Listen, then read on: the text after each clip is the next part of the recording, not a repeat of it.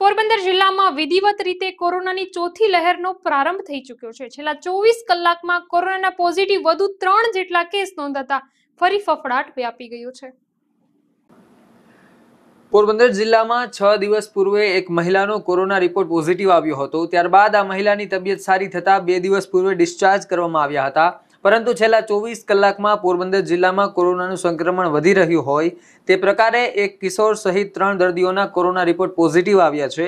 મૂળ જાપાનના અને હાલ જાવર વિસ્તારમાં હીરાવંતી મરીન ફેક્ટરીમાં ઇન્સ્પેક્શન માટે આવેલા મતસુદા મસ્કી નામના આધેડનો કોરોના રિપોર્ટ કરવામાં આવતા રિપોર્ટ પોઝિટિવ આવ્યો છે. તો કુતિયાણાના દેવશીભાઈ ભુરાભાઈ કેશવાલા અને ધરમપુર ખાતે રહેતા એક કિશોરના રિપોર્ટ પણ કોરોના પોઝિટિવ આવતા આ દર્દીઓને સારવાર માટે પોરબંદરની સરકારી હોસ્પિટલે ખસેડવામાં આવ્યા છે. હું doctor Siddharth Jadeja, physician general hospital Porbandar. COVID વિશે અમુક જાણકારી આપવા માગું છું.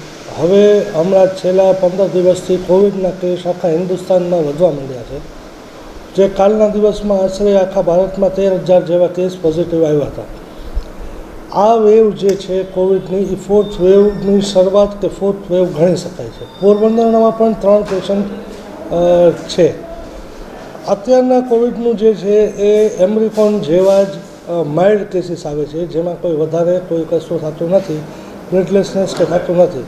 આના સિમ્ટમ્સ તાવ, શરદી, ઉધરસ, જે બેથી પાંચ દિવસની અંદર મટી જવામાં આવે છે. કોઈ બીવાની જરૂર નથી, એટલું આ ખરાબ નથી. જેટલા વેક્સિનેટેડ પેશન્ટ છે, એને બહુ માઇલ્ડ થાય છે કે થતું જ નથી. જેટલા અમારે ત્યાં થયા કોવિડ આવ્યા છે, એમાંથી મોસ્ટલી બધા નોન વેક્સિનેટેડ પેશન્ટ હતા કે જેને એકાદ વાર વેક્સિન લીધું હતું, એવા જ પેશન્ટ હતા. ખાલી અત્યારના આપણે તકેદારી રાખવાની જરૂર છે માસ્ક પહેરવાની જરૂર છે, થોડુંક સોશિયલ ડિસ્ટન્સિંગ રાખવાની જરૂર છે. બાકી આ વેવ પણ મારા પ્રમાણે એક જ મહિનાની અંદર પાછી જે રીતના થર્ડ વેવ આવી હતી, એવી રીતના જ સરખી થઈ જશે. એડમિશનની જરૂર પણ બહુ ઓછી પડે છે.